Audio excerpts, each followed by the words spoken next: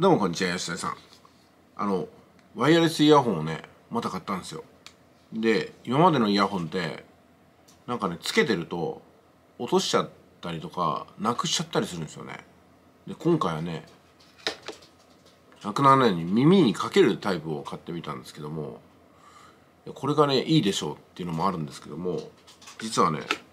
例によってまたこのイヤホンの動画を撮ったんですよ。そうするとあのコメントが入りまして同じようにワイヤレスイヤホン何にしようか迷っていたんですけどもずっとね久保さんがワイヤレスイヤホンの動画を上げていたのを見ていて今回、えー、もう決断がつきましたと。耳耳かけ用のやつを買いますと。私もワイヤレスイヤホンつけたかったんだけども絶対なくすだろうなと思って久保さんが同じ悩みを持っていたんでね同じのをどんどん買い替えるよりも耳かけ用のやつを買った方がいいと思いました。みたいなこれによって売れました。売れたけどアフィリエイト報酬は入んないですよねきっとね。まあけどアフィリエイトの原点はここにあるんだろうなと思うんですよね。自分が良かったよって言ったものを誰かがその感想に共感して納得して買う決断をするっていうね。それまではその人はワイヤレスイヤホン買わなかったわけですから、まあ、私のおかげでねこれが売れたとも言ってもいいわけなんですよね、うん。まあ、だからこの振り返るとねこうやってお金を生み出せるほどの体験をしてきたかなっていうことかなと思うんですよね。で仮にお金を生み出せる体験をしたとしてもそれをやっぱこうアウトプットしないとそれがまあ証明できないというかね発動しないのかなと、うん、だから内在した稼ぎっていうのは多分人それぞれあってそれを使ってるか使ってないかって大きな差があるのかなと思うんですよねで実際今回このワイヤレスイヤホンに限らずですけども、まあ、私たちが何かを買う時っていうのはさらに売り上げを取るために買うぐらいしかなくって。さあ買って無駄になってしまったとかね。売り上げを作りませんでしたってことはまあ基本的にないのかなと思うんですよ。でもちろんこういうものを買うと売った会社も儲かると。買った方も儲かると。両方ともこう儲かるわけなんですよね。でもなんで日本経済衰退してるかっていうとまあ全く買わない人がいるからってことかなと思うんですよ。まあ買わなければじゃあ売り上げ上がんないのかって言ったらそういうわけでもなくて買わなくてもねあの売り上げ上げる方法あるんですけどもそれもしてないと、うん、で買った挙句それを活用もしてないだからどんどんどんどんこうシュリンクしていくのかなと。シュリンクってこうね先細りしていくのかなっていう気がするんですけども、まあ、さっきのね、まあ、吉田さんの体験聞いても同じように感じですよね。だからこの利息を払った方も、うん、喜びと感謝で言われてもないのに払うと。でもらった方もじゃあセミナーをお返ししますと。でセミナーやったらなんか1万6,000円分しか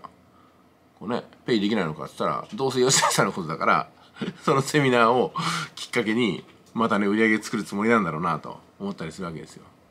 まあ、つまりね短い人生の中でどの1時間とか2時間を切り取っても生産してるわけですよね。で自分で生産してるプラスアルファそこに関わった人も何らかの財を得るというね、うん、知という財を得るのかもしれないですね。ちなみにね、あのー、ちょっとどうしようかなと思ったんですよ私ね結構濃いコンサルをお願いされて別にそのコンサルやってますよってアピールしたつもりはないんですけどもまあ久保さんにねあの自分の根性を叩き直した上にあのビジネスの総合プロデュースをしてもらいたいと。で結構ね濃い内容がずっと書いてあってねこれ受けるの嫌だなと思ってるわけなんですよ。うんまあ嫌ですよね、うん、そうだ。人の人生したことないですからね。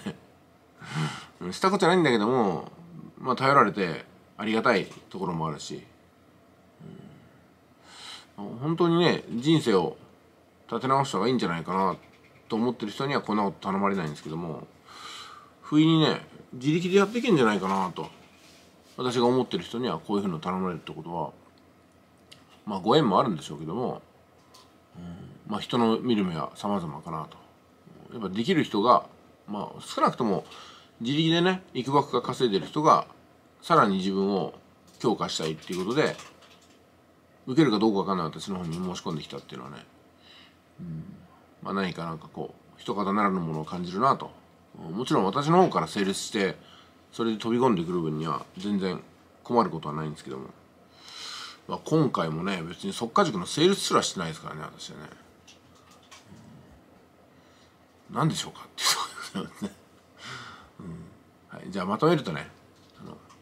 自分がやりたいことは受け取ってもらえるかどうかは偶然。でもお願いしますというふうに向こうから頼まれることは必然と。じゃあ必然が起きるような体験とアウトプットをしてますかってことかなというふうにまとめさせていただいて今日も行ってみましょうか。1月9日。2時でございます。いってらっしゃい。